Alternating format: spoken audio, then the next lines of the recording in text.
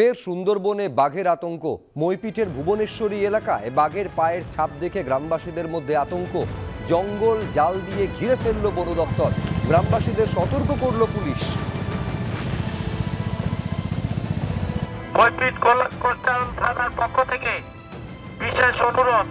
আপনারা জানেন ভুবনে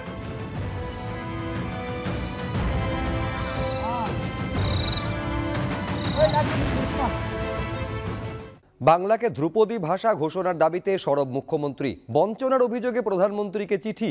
দিনের পর দিন রাজ্যের নাম বদলেও টালবাহানার দাবি।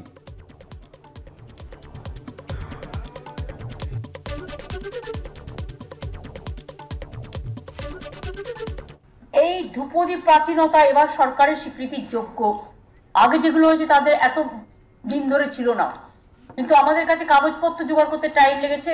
আমরা মোটা চারটে ভলিউম সেটাও আমরা হোম মিনিস্ট্রিতে পাঠাচ্ছি।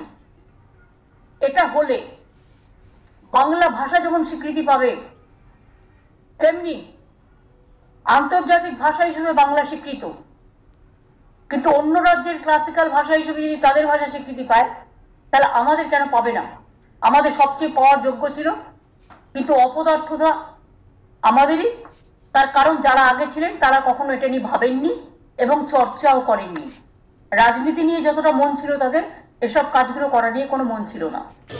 বাঙালি অবাঙালি করেন গুজরাটিদের বাইরের লোক বলেন মোদি অমিত শাহ গুজরাটের লোক বলেন। এসব নাটকবাজি এসব ভোটের আগে এসব ঢপবাজি। উনি বুঝে গেছেন যে পশ্চিমবঙ্গে টু থার্ডের বেশি আসন হারতে চলেছে। পশ্চিমবঙ্গের নাম কেন বাংলা হতে পারবে না? রাজ্যের নাম নিয়ে বিধানসভায় বিল পাশ হয়েছে। কেন্দ্র যা যা ব্যাখ্যা চেয়েছে সব দেওয়া হয়েছে। বম্বে থেকে মুম্বাই হয়েছে। আমাদের কেন হবে না? কি অপরাধ? রাজ্যের নাম বাংলা হলে আপত্তিটা কোথায়? প্রশ্ন তুলেছেন আজ মুখ্যমন্ত্রী। এ ব্যাপারে অনেকবার অনুরোধ করেছি বলে দাবি করেছেন মুখ্যমন্ত্রী।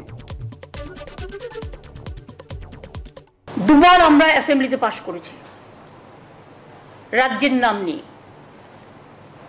ওরা যা যা ক্লারিফিকেশন চেয়েছে সব আমরা দিয়েছি। তাও দীর্ঘদিন বলে, দীর্ঘদিন ধরে। বাংলা রাজ্যের নামটা তারা দিচ্ছেন না। বোম্বাই থেকে মুম্বাই হয়েছে মুম্বাই হয়েছে। ওড়িশা থেকে ওড়িশা হয়েছে। কর্ণাটক থেকে কানাডা বা যা বলে ওরা। কিন্তু আমাদের কেন হবে না? আমাদের কি অপরাধ? বাংলা রাজ্যটার নাম হলে ছেলেমেয়েরা যারা বিভিন্ন কম্পিটিশনে যায়, পড়াশুনোয় যায় তারা অনেক প্রায়োরিটি পাবে। আমাদের যে কোনো মিটিংয়ে গেলে বসে থাকতে হয় লাস্টে ডাব্লু এক্স ওয়াই জেড ইম্পর্টেন্সটা বাংলার কমিয়ে দেওয়া হয়। আর এখন আমরা মনে করি না, এখন আর ভাগাভাগি করার প্রয়োজন আছে।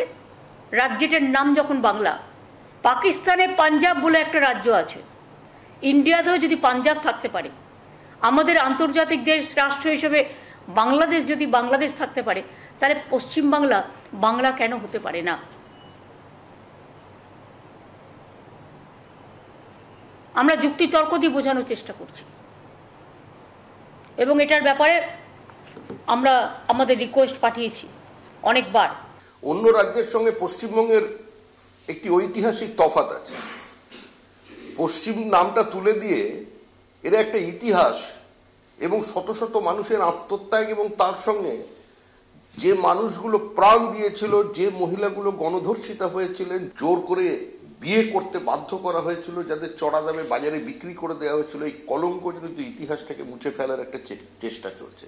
এই ইতিহাস বিকৃত করতে দেওয়া যাবে না, সেই কারণেই পশ্চিমবঙ্গ, পশ্চিমবঙ্গই থাকবে ইতিহাস সম্মতভাবে